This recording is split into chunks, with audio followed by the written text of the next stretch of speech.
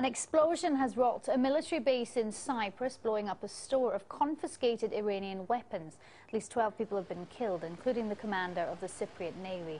The munitions were Iranian weapons taken from a vessel heading to Syria two years ago. The country's defense minister and the head of the army have both resigned. Well, Nicosia witnessed a huge rally on Monday night. Tens of thousands of Cypriots from around the country gathered outside Presidential Palace to call for the resignation of President Christofias. Here is more. Things are getting hot in Cyprus, and it's not just the summer heat this year.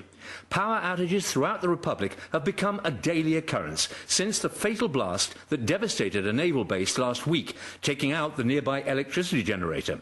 With water shortages next in line as the power supply to local desalination plants has been disrupted.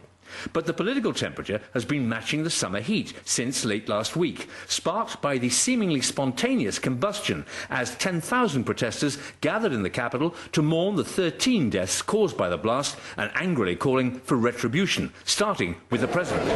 One week after the blast, and the mood of simmering anger and popular protest show no signs of abating. Quite the contrary, in fact, with growing calls for the president to resign or at least form some kind of national unity government.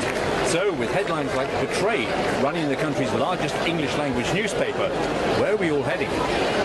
It's impossible to tell. I think it really is impossible to tell. Um, the government seems to be at least one step behind public opinion throughout the week.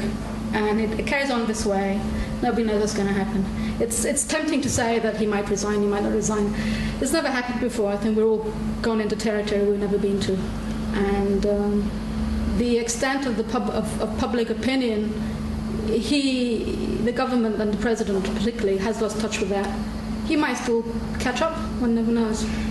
At least his political party, Communist AKEL, believes he will, stressing that he's already ordered civil and criminal investigations. One week on from the blast, and the presidential palace is again the target for protesters, not prepared to wait for those investigations. They want resignations, and they want them now. They had two straight away, and hours before this huge gathering, they got a third, the foreign minister, in what may prove to be an ever lengthening list of politicians backing away from the head of state. Disclosures in the media have painted a picture of inaction and inefficiency, despite repeated warnings that the weapons seized back in January 2009 posed a serious threat if they were left unprotected from the heat and other elements in their shipping containers at the naval base. The palace is set to remain centre stage as tension continues to rise among a population furious at a disaster that quite simply could and should have been avoided. They want action. Now the heat is on the government and in particular its president. Roderick Pratt, Press TV, Nicosia.